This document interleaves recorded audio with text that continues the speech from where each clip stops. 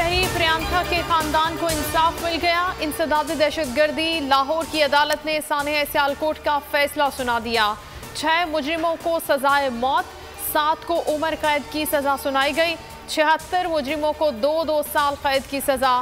Case की फर्द जुर्म 12 मार्च को आयद की गई थी।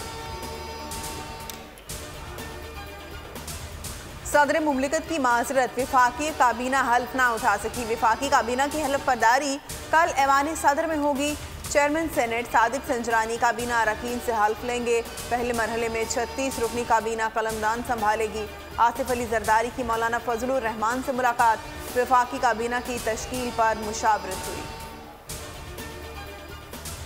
किसको, कौन सी वजारत मिलेगी? मजीद नाम सामने आ गए। खुर्शीद शाह को आबी वसाइल, नवीद कमर को तजारत, असद महमूद को मवासलात, अब्दुल शकूर को मजहबी अमूर और हिना रबानी खर को वज़ीर ममलिकत। बरए अमूर खारजा दिए जाने का इम्कान।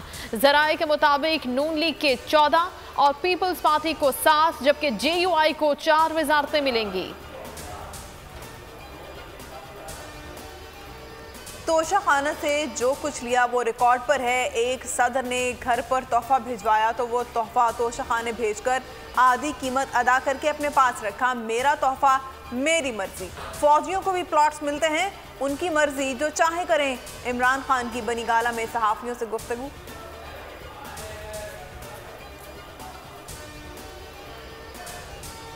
तुम्हारा तोहफा तुम्हारी मर्ज़ी नहीं। तोहफे रियासत के थे। मर्ज़ी भी रियासत की चलेगी। मरियम नवाज़ का इमरान खान को जवाब ट्विटर पर लिखा, अब तुम्हारी धोस नहीं चलेगी। हिसाब देना पड़ेगा। आँखें खोलो। तुम्हारी जाली हुकूमत और मुस्तबिल दोनों खत्म हो चुके।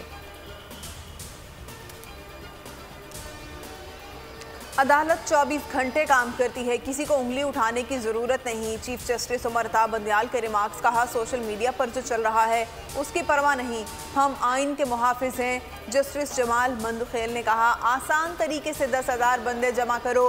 कहो, मैं नहीं मानता। अदालत क्यों सियासी मामला में पड़े? उसी रफ्तार से काम करूँगा, जिसकी आदत है। मेरे तेज काम करने से सबक वज़ीर आज़म को घबराहट होगी, लेकिन अवामी घबराहट खत्म हो चुकी।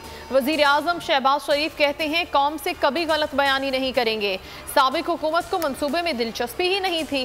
तातुल की वजह से चार अरब से जायद का नुकसान हुआ। बारह माह रमज़ान में मुफ़्त बस सर्विस का ऐलान।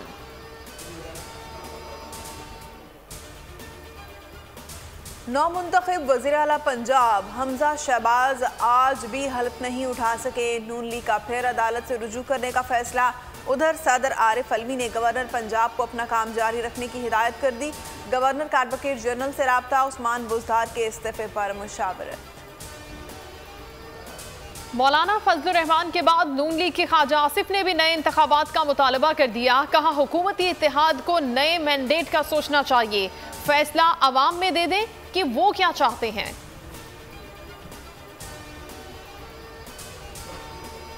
आज़ाद कश्मीर के नायब वजी अजम का इंतखब पी टी आई के सरदार तनवीर इलियास बिला मुकाबला मुंतब तैंतीस वोट मिले, हल्फ उठा लिया अपोजिशन ने एहवान से वॉकआउट किया।